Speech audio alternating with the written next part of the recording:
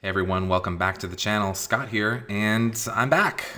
Sorry I took such a long hiatus between videos, um, but uh, an overwhelming amount of you wanted to know how I shoot my light frame, so that's what we're going to talk about today, is how to properly shoot light frames. This is all opinion.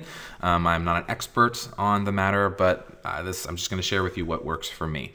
So what makes up a terrestrial uh, photo is no different than what makes up an astrophoto. There's still three factors that you all need to be accustomed to dealing with. Um, and those three factors are, you guessed it, shutter speed, aperture, and ISO. So let's knock them out one by one. Um, the first and most important step in determining your exposure time is your mount's tracking ability. So I use a little mount like this. It's an Ioptron Skyguider Pro. And um, longer, fewer exposures are always going to make better astro images than um, many shorter exposures. So the longer you can shoot for, the better your results are going to be.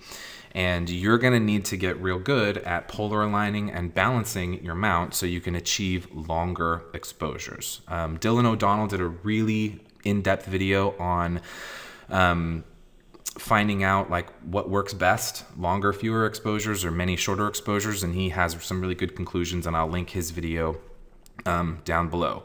Um, suffice it to say that not only do longer exposures make better images but they're also going to save you time and space on your computer. So you can imagine that it's going to be a lot quicker and um, less taxing on your computer system if you process and stack 103 minute photos rather than 630 second videos. So for me, I've gotten really good at uh, polar aligning and balancing this guy over the last uh, year or two, and I'm shooting right around two to three minutes, um, depending on you know what I'm shooting. Um, so wobbly stars you know, is a big problem. And you can see from the image on screen now that this is when I first got the mount. I didn't really know what I was doing. And uh, this is only a 60 second photo.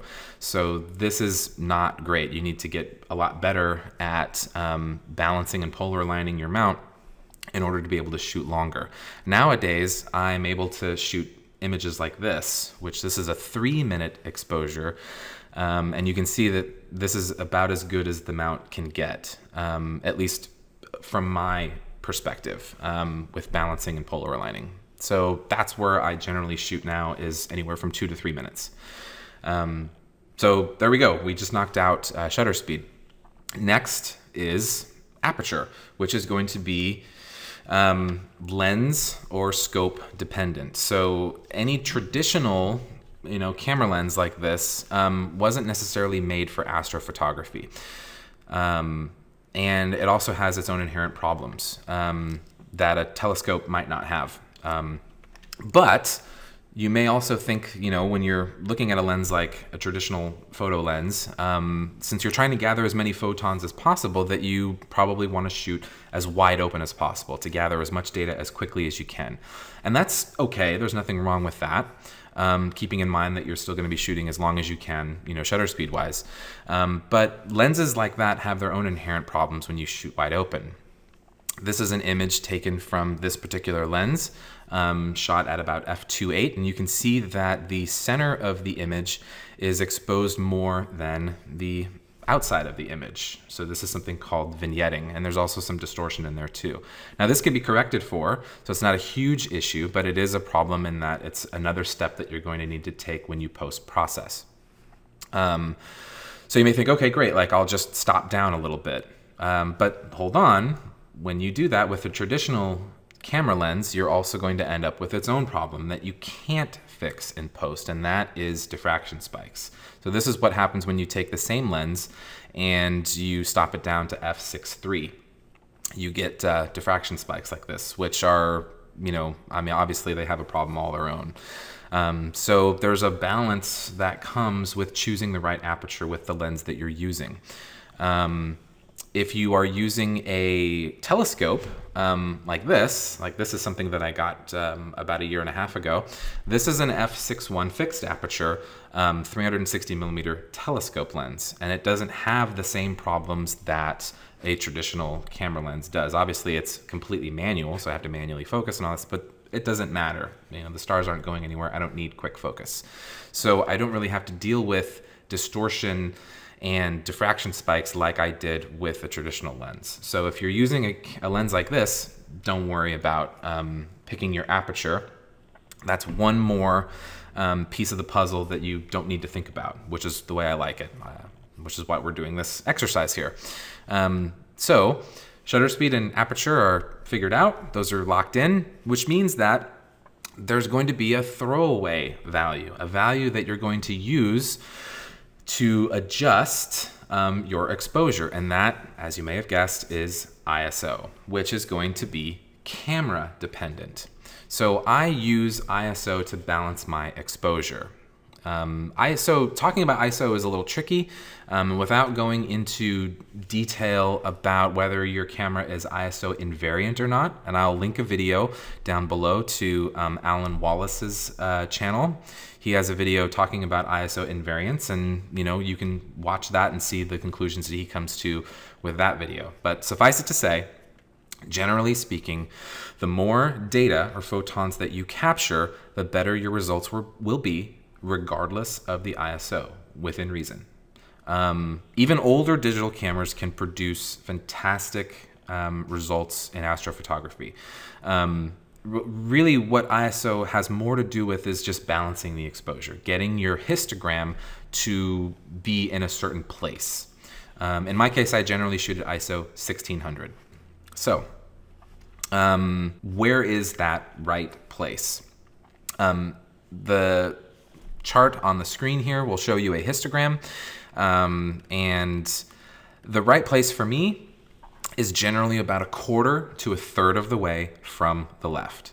So if you shoot any less than that, so if we look at this image here, um, underexposed a little bit, you might have trouble when it comes to stretching the final image after you've stacked all the images.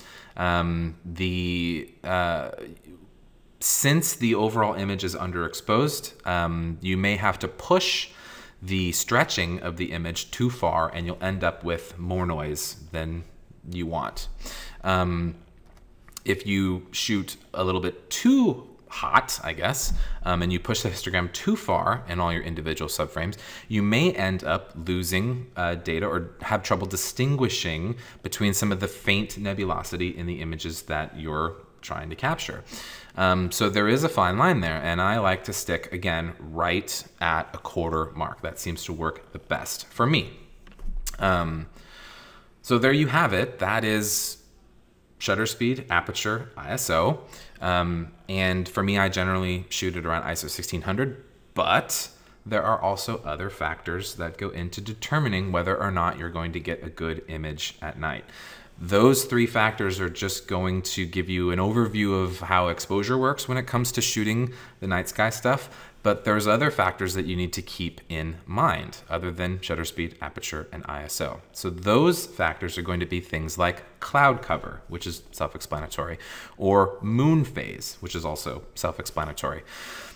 There's also light pollution, you know, like where, what Bortle scale is it where you're shooting from? Um, transparency, you know, which takes into account smoke and elevation, surface pressure, and also clouds.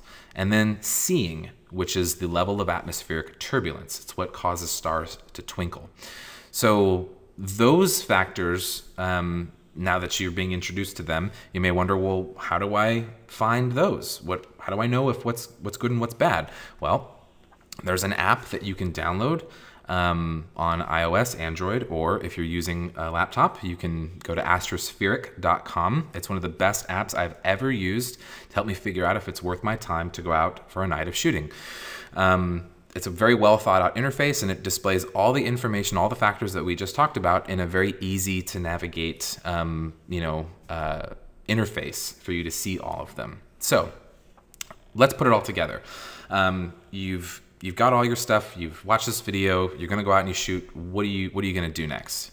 Well, first, you're gonna need to go to Astrospheric and you're gonna need to figure out you know those factors. You know are you in a low enough bortle area um, to get decent results? Obviously you don't want to shoot in a bortle 9 um, that's not going to work for good astrophotography.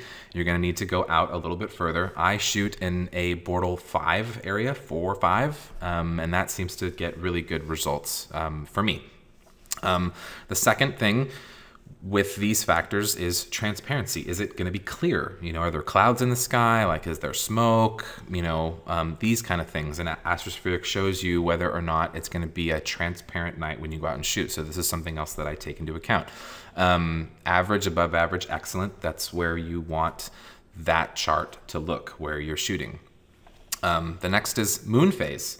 Um, obviously, you don't want to go out and shoot when the moon is full. I generally start thinking seriously about astro imaging from first quarter to last quarter of the moon. That gives me um, about from sunset to uh, midnight shooting. There's about a two week window there between these moon phases that I can get some really good shooting um, almost all night. Um, obviously, around new moon, you get more time, but from first quarter to last quarter, that's generally like the best time that I go out and shoot.